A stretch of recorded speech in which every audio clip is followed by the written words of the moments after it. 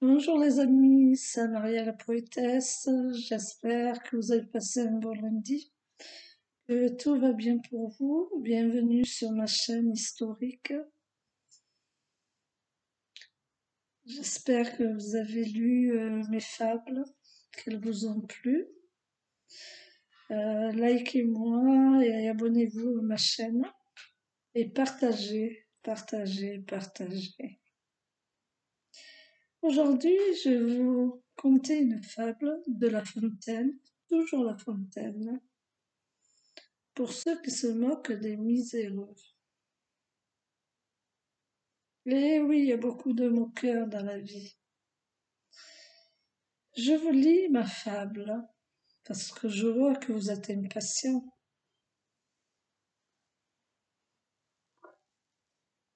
Le lièvre et la perdrix. Il ne se faut jamais moquer des misérables, car qui peut s'assurer d'être toujours heureux? La sage Ésope, dans ses fables, nous en donne un exemple ou deux.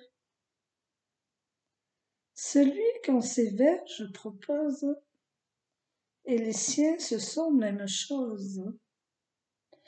Le lièvre et la perdrix concitoyenne d'un champ, vivait dans un état, se semble assez tranquille. Quand une meute s'approcha, oblige le premier à chercher un asile.